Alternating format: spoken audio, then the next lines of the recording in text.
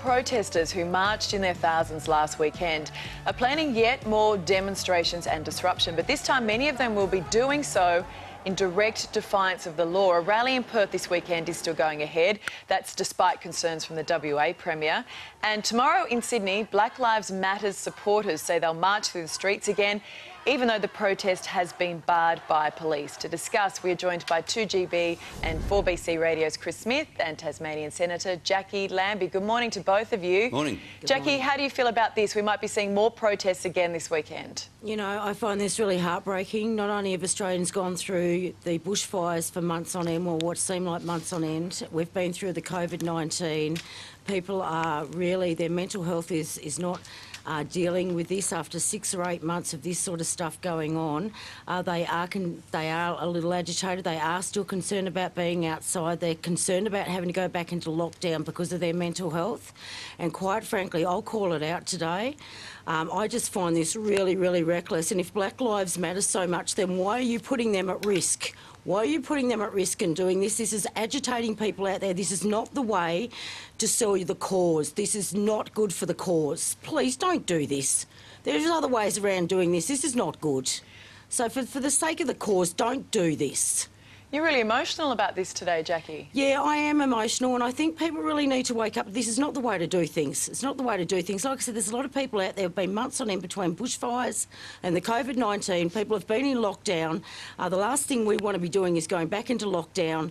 Uh, the economy is really struggling. Uh, there's going to jobs are really going to be hard to get, and to put um, lives at risk again through recklessness. What is wrong with you people? It is so bloody un-Australian. Mm.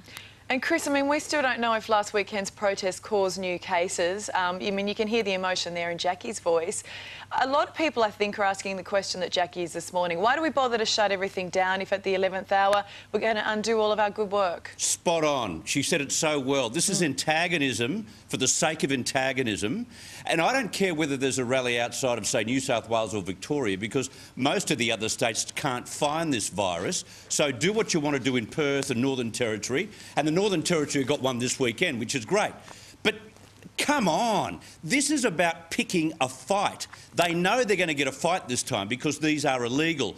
What the Aboriginal organisers need to do is bring the population with them if they've got an argument about incarceration of young Indigenous people. Now, that is a good argument because it's a problem. Now, what is not a problem is police causing the death of Aborigines in custody. It's not the problem it once was. These people are just picking a fight and they've lost the faith and trust of the community.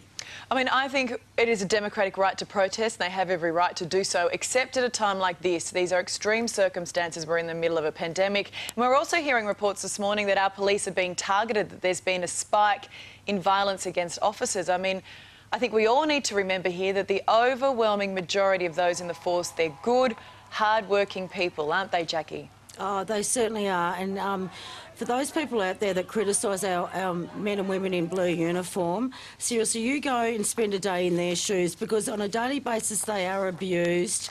The stuff that they have to go through, they've got to put up with ice addicts out there. They are punched at, they are kicked at. Uh, there is many out there that are suffering with their own mental health but still go to work and show up every day to make sure that we keep peace on our streets. Um, and you know, for a bad, for a couple of bad eggs, uh, this is just unacceptable. Everybody in society has bad eggs, but to blame everybody for that action, that's that's not on. And that's un- once again, that is un-Australian. Um, but what these people do, and the courage and that that they show, and the honour that they show year in, year out in that blue uniform, I praise them for them and good on them for having the courage to be and then stay in that blue uniform. Yeah, well said, Jacqui. Something else I wanted to talk to you both about this morning.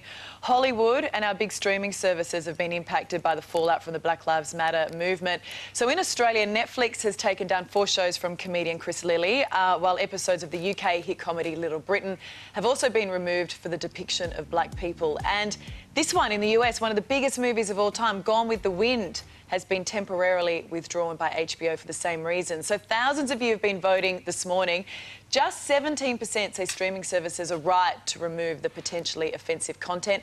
83%, so the result's overwhelming that the show should not be taken down. Matthew says you may uh, as well remove everything because someone will always find something offensive. And Kelly says, though, good. There's no room for, uh, there's no need for racism. Um, Chris, is this a knee-jerk reaction or something that was long overdue? Well, it's a knee-jerk reaction because sensitivities are so high in the United States at the moment, and I can understand that until the United States calm the farm, you don't want to upset, you know, the apple cart. You don't want to um, upset people and give them any motivation or reason to cause uh, violence to other people. However, that said, you can't rewrite history.